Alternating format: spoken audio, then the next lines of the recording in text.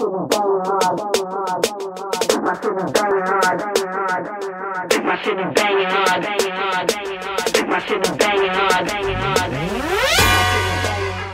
Paulo, lançamento feito ali para Igor, é gol!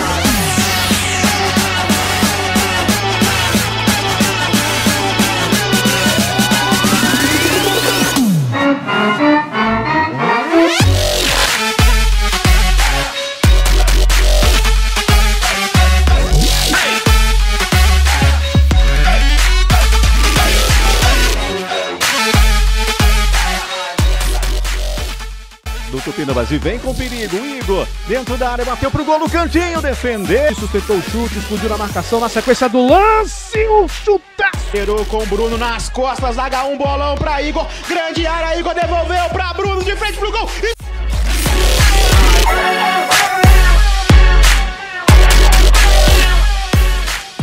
Igor, ele contra a marcação, ganhou, Igor foi segurado, puxado, ficou de pé, um tanque, Igor pra trás, Gabriel Sá, recolheu.